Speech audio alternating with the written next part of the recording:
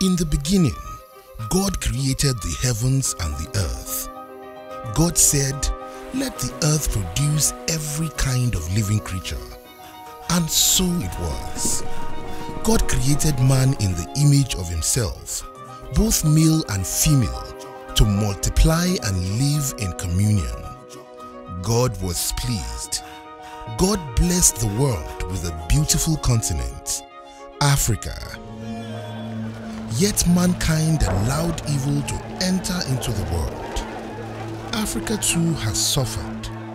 Poverty, corruption and war claim the lives of Africa's most innocent, devastating churches, schools, hospitals, nations. Despite such violence and destruction, God is with us and we are blessed. We are blessed by the courage of our bishops and priests who witness God's love. We are blessed by the faith of our catechists who teach us to love. We are blessed by the commitment of our religious who practice love.